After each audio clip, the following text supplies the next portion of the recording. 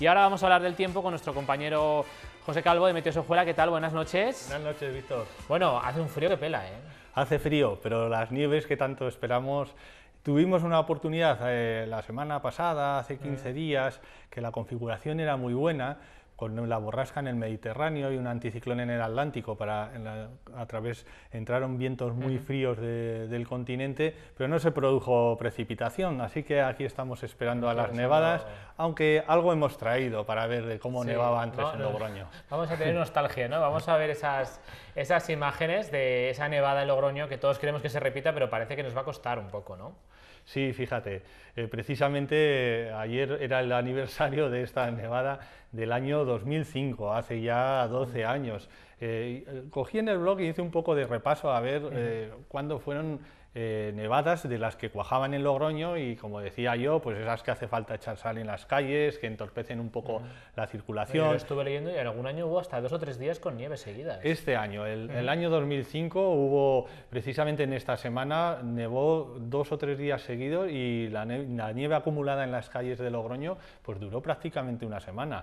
Las fuentes estaban heladas, la verdad es que eh, fue un espectáculo del que ya solo vivimos del recuerdo. Es verdad. Porque aunque en el 2007 nevó, en el 2009 nevó, en el 2015, hace, hace dos años, nevó. Lo que pasa es que son nevadas eh, ligeras, desaparecen rápidamente eh, aunque cuajan, ya te digo que desaparecen rápido y solo quedan cuajadas en, cotas más altas. ¿Y esto es por el, cambio climático, José? Pues mira, esa es la discusión que tenemos siempre, si realmente es el cambio climático o, solo depende a, ciclos eh, pues desde frío o calor como ha habido en otros siglos. Entonces, desde luego, el cambio climático es evidente que las temperaturas van, están en ascenso continuo y que algo habría que hacer, pero directamente con el cambio climático, pues nunca se sabe si es un ciclo o es un cambio. Pero lo, veremos, lo veremos con el paso de, los años o no lo veremos, porque tú ten en cuenta que las series, las, la toma de datos meteorológicos es relativamente reciente, no, no, tiene más de 100 años. Entonces, con esos datos, hacer estadísticas de, largos periodos es, muy difícil, es muy difícil. Pero bueno, todo lo que esté destinado a conservar el, planeta, que haya que cambiar, bienvenido sea. Pues sí, cuidar el planeta es lo importante. Nos has traído más cosas, ¿no? Para hablar un poco de esas nevadas que no vienen, ¿no? Que no terminan de llegar. Sí, te he traído ahora alguna otra foto de, de esas nevadas que es preciosa. sí, esta me parece que es del año 2009. También hay una foto de, de la plaza del mercado al amanecer. Fíjate qué bonita con, el, con, los cedros que había antes, que me parece que estos ya eh, los, cortaron porque estaban enfermos. En la plaza del mercado que ya no hay árboles, ¿no? ya no hay árboles. Pues esa era el amanecer, fíjate qué, qué bien cuajadita estaba, casi para esquiarla. Y, en la siguiente imagen he traído unos modelos de entonces de, cuáles son las situaciones en las que se producen estas nevadas.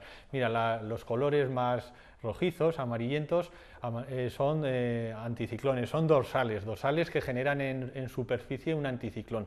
Y el color verde y azulado son bajas, eh, es aire frío en capas altas que genera en superficie borrascas. Cuando la configuración es parecida a esta, un anticiclón en el Atlántico y una borrasca en el Mediterráneo, como los vientos van de los anticiclones a las borrascas, lo que hacen es traer aire muy frío del continente de, Europa. Y ese aire muy frío, si tiene recorrido marítimo o se generan frentes por la propia inestabilidad, es cuando se producen las nevadas aquí en zonas de La Rioja y en zonas del valle con posibilidad de cuajar. Pero también te voy a decir que, fíjate, para que, se para que realmente cuaje, eh, las temperaturas que me he a, mirar tienen que ser eh, a 5.500 metros, que es una temperatura eh, base de referencia, de entre 30 y 35 grados bajo cero y a 1500 metros, que sería por ejemplo Moncalvillo, tienen que estar por debajo de 5 grados, entre 5 y 10 grados bajo cero. Si en esas condiciones se produce precipitación, va a cuajar en el valle.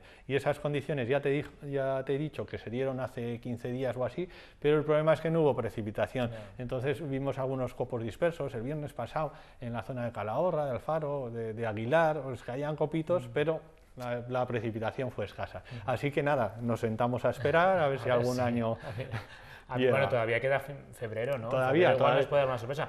Fíjate, esta, esta nevada que, que, cuajó en Logroño, esta nevada es de marzo, esto es Ojuela, fíjate la cantidad de nieve en una sola noche, porque además de eso me acuerdo yo, porque tuvimos que ir con los niños en mantas, porque con los coches no llegábamos a, hasta casa, pues esta fue de, de marzo, de, un 19 de marzo del año 2007. En Logroño nevó bastante por la, por la noche, sin embargo, al ser ya casi primavera, eh, rápidamente se, se fue la nieve de las calles.